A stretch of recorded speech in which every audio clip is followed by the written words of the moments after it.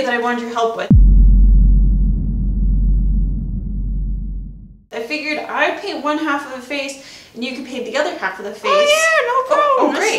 So easy. So, yeah, um, so Mm-hmm. we'd be basically demonstrating how to paint realistic eyes. oh yeah, Yeah, easiest part of um, the face. okay. Windows the So. Got it. Uh, good, but I I just wanted to make sure you knew before we got into it that you know the reason I want your help is because I'd be Mm-hmm. Demonstrating like yes. No, I understand. We're demonstrating realistic eyes. Um, my side of the face. yeah, it's gonna be really I good. just- it'd be demonstrating. Yeah, okay. So, anyways, we got a lot to do. You're moving, Okay, but- we're packing. I've got a watermelon. It's really getting heavy. I think it's time for us to just go ahead and get started. I, I know what I'm doing. We'll be fine. All right. Yeah. Yeah.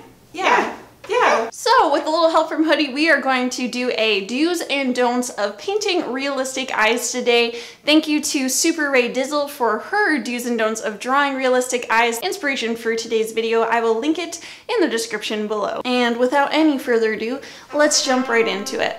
Welcome to the voiceover. Straight away, we're going in with a very peachy tone. Without Hoodie using any complementary colors, we get a very bright pink on our skin. We want a more muted tone next time. And with a straight white on our eyeball, we do not have any definition of the actual spherical shape of our eyeball, so that is why shading is very important here. On our iris, Hoodie went in with a straight brown. Most irises are going to have a bit more color contrast and definition, especially my eyes are actually a hazel versus a brown. Now on those eyelashes, Hoodie had much too large of a paintbrush for this task. While Hoodie did a great job in fanning the eyelashes away from the eyeball, you want to create a bit of a thicker base and then move toward a thinner tip at the end that eyebrow is just one solid block versus doing the individual structure of it. And while Hoodie did a great job acknowledging that little inner fleshy corner, we want to make sure we do a mixed color versus a straight from the tube red. Lots of black outlining is going into this and very flat colors. Without any shading, you're not going to have a realistic overall effect. Now, on my side, I very weirdly decided to go in and do the eyelashes at first, but quickly abandoned that and went right into my iris. Now, I have a blue outer rim followed by a green and then a brown in the middle. I think it's important to paint what you're seeing directly in your reference photo and not just assume you know what colors you're working with. And I do emphasize using a reference photo for your portraits if you are, in fact, going for a realistic look. Now on my side, I am using a blue to show the shadows where the eye is more recessed in the face and only hitting the very front of the eyeball with that bright white to show that it is protruding the most and getting light on top of it.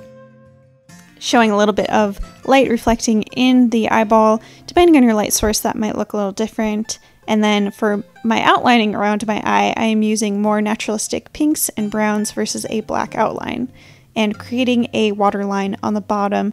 That waterline will be where our eyelashes come out of on the bottom of the eye, whereas Hoodie did them straight from the eyeball. We actually want them to come out of the waterline.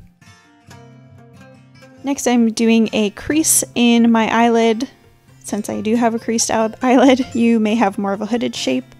And we are going in and using that same color to define the outside of the eyeball and putting a little bit of pink in that inner corner versus the straight red. Onto the outside of our eyeball, you want to make sure you are hitting the brow bone and cheekbone with the highlights. They are the most protruding on the face, so they get more light on them, whereas the inside socket of your eye is going to have a lot more shadowing. It is more recessed. And now onto those eyebrows. We want to do a thin brush with individual hairs growing in the direction that your hairs naturally grow, going up in the inner corner and moving towards the tail. If you do have little flyaway hairs like I do, you can put those in as well. More definition in our uh, eyebrow crease, eye- eyelid crease, and now onto our eyelashes, which are thick at the base and get thinner to the tip.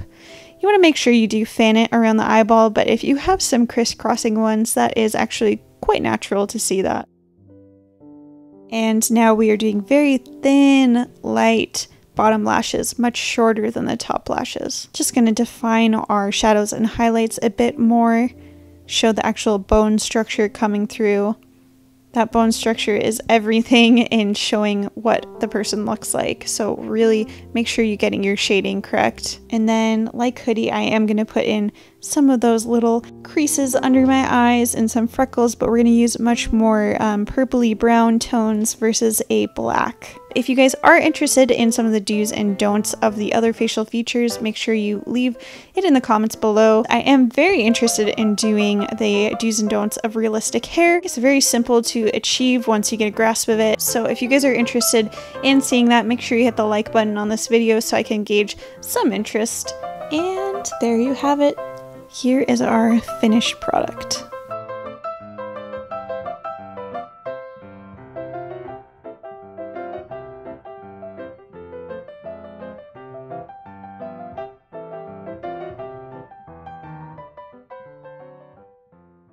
I'm actually stoked about the way this came out. I love the contrast of looking at the do's and don'ts. Do's and don'ts. Don'ts.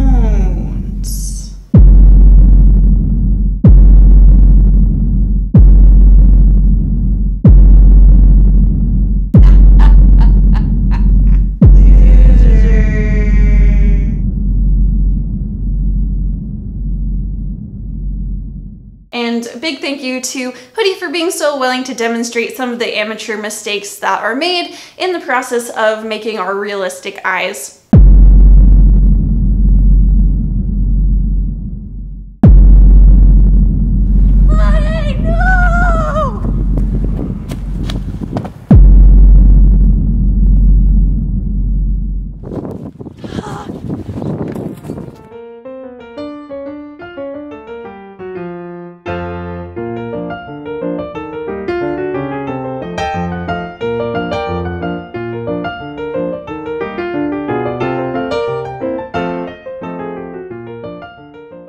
Well, I think things are sorted between me and Hoodie now after that little miscommunication.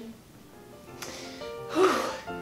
If you guys are interested in seeing the do's and don'ts of realistic hair painting, make sure you drop a like on this video and we will see you guys next Friday.